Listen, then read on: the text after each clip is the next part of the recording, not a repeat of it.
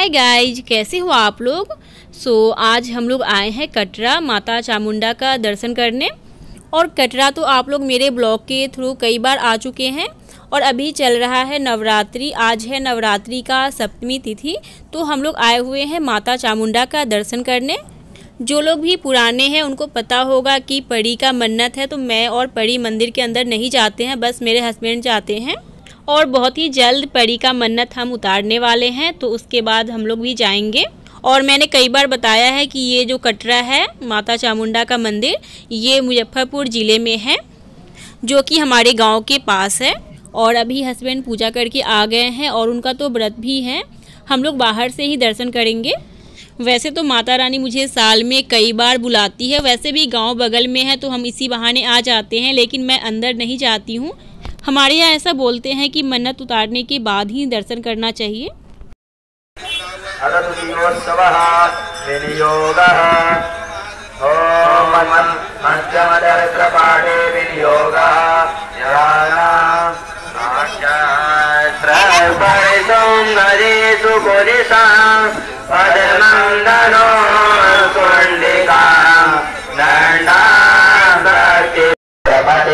शम्भो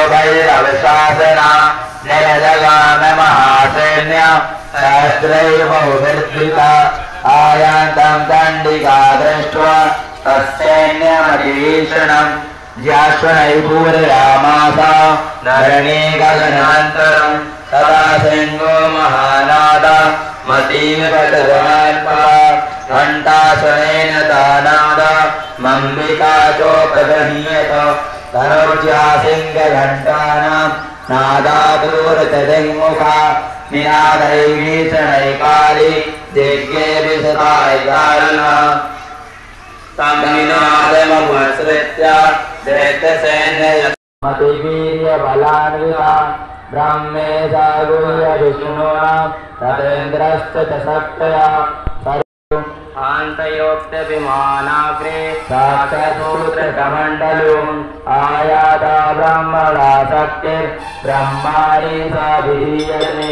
माये स्वैदुषारूढ त्रिशूलवरदारणि महाहिमलया प्राप्ता।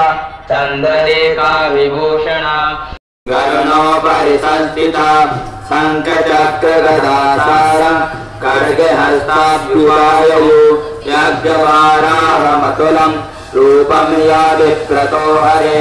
तत्ते साभ्याययौ तत्र वाराहीव्यप्रतीतनम् नारसिंहे नृसिंहस्य विप्रदेशादृशं बभो। दाता तत्र सदा चेप चित्तनक्षत्रसंहति। वज्रहस्तारदैवेन्द्रे गजराजो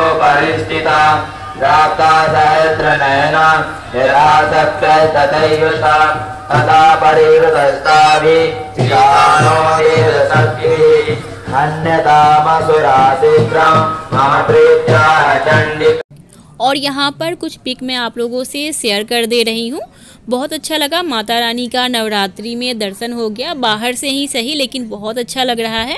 आप लोगों को कैसा लगा कमेंट में ज़रूर बताइएगा। तो ये था मेरा आज का छोटा सा ब्लॉग। आई होप कि आप लोगों को अच्छा लगा हो। अच्छा लगा है तो लाइक कर दीजिएगा, ज़्यादा से ज़्यादा शेयर कर दीजिएगा। और अगर आप मेरे चैनल पर नए हैं तो प्लीज़ चैनल को सब्सक्राइब कर लीजिएगा।